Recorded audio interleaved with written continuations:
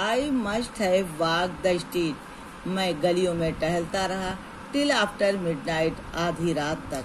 At last अंत में I become so exhausted अंत में मैं इतना थक गया that I could walk no longer कि मैं ज़्यादा देर तक टहल नहीं सकता था। आई वॉज़ टायर्ड मैं थका था। आई वॉज़ हंग्री मैं भूखा था। आई वॉज़ एवरीथिंग मेरे पास सब कुछ था बट डिस्करेज लेकिन हतोत्साहित था डिस्करेज मीन हतोत्साहित होना निराश होना। जस्ट अबाउट द टाइम ठीक उस समय वेन आई रीच जब मैं पहुँचा extreme physical exhaustion when I reach extreme physical exhaustion जब मैं पहुँचा मैं बहुत ज़्यादा शारीरिक रूप से थक चुका था।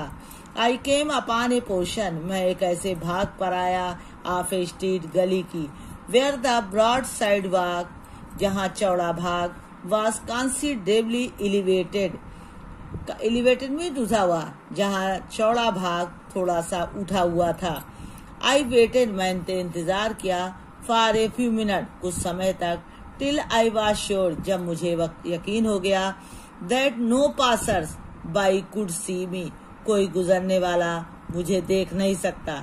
एंड देन क्रिप्ट और तब रेंग कर क्रिप्ट मीन्स रेंग कर अंडर द साइड वॉक नीचे से रेंग कर एंड ले और लेट कर फॉर द नाइट रात को ऑन द ग्राउंड ज़मीन पर with my satchel of clothing for a pillow मैंने तकिए यहाँ से फिर से देखो। And that crept under the sidewalk और तब किनारे रेंग कर एंड ले और लेट कर for the night on the ground.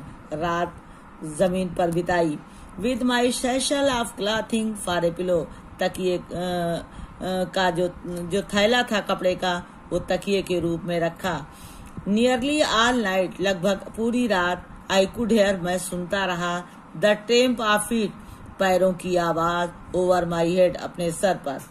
The next morning, अगली सुबह को आई फाउंड माई सेल्फ मैंने अपने आप को पाया सम वाट रिफ्रेश थोड़ा ताज़ा।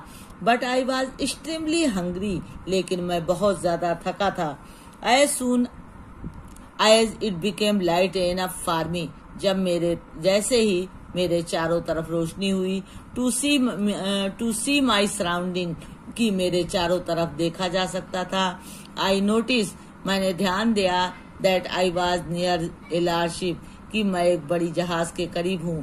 इट सीम्ड ऐसा प्रतीत होता था। टू बी अनलोडिंग एक cargo of pig iron unloading उतारी जा रही थी एक कार्गो आप पिग आयरन लोहे की छड़े ऐसा प्रतीत हो रहा था। उससे लो, कच्चे लोहे की छड़े उतारी जा रही हैं। आई वेंट एट वंस मैं तुरंत गया टू द वेसल उस जलियान के पास एंड आज द परमिट और कैप्टन आज द परमिट आज the captain to permit me कप्तान से आज्ञा मांगी to help unload the vessel जहाज़ से उतारने में मेरी मदद ले।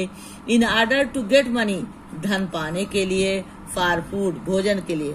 The captain a white man कप्तान, एक श्वेत आदमी था who seem to be a kind hearted जो दयाल प्रतीत होता था कंसेंटेड राज़ी हो गया। आई वर्क लॉन्ग इनफ मैंने लंबे समय तक काम किया टू अर्न मनी धन कमाने के लिए। फॉर माई ब्रेकफास्ट अपने नाश्ते के लिए। At it seem to me और मुझे ऐसा प्रतीत हुआ as I remember it now जैसा मुझे याद है to have been about the best breakfast ये मेरा सच्चे, सबसे अच्छा नाश्ता था that I have ever eaten जो मैंने अभी तक खाया था।